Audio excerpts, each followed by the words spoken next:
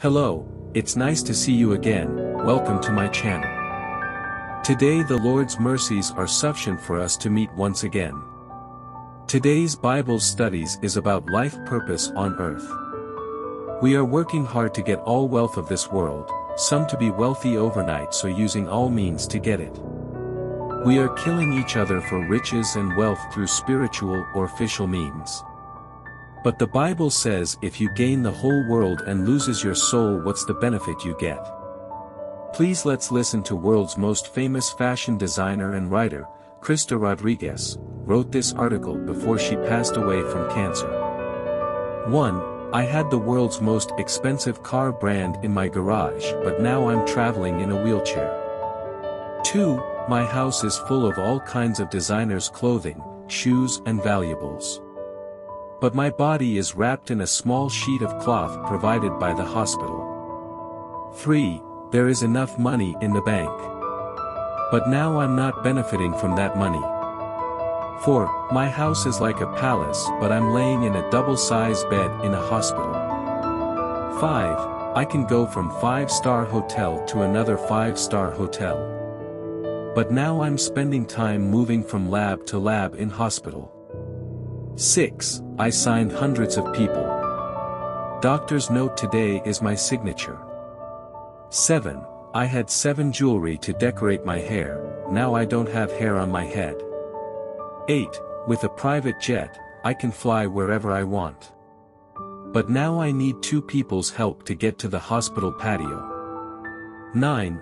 Although there are many foods, but my diet has two tablets a day and a few drops of salt at night. This house, this car, this jet, this furniture, so many bank accounts, so much reputation and fame, none of them are useful. None of all valuables could give me relief. The real meaning of life is about knowing our Savior Jesus Christ, serving Him is the best thing that we can do. Jesus is the answer for everything.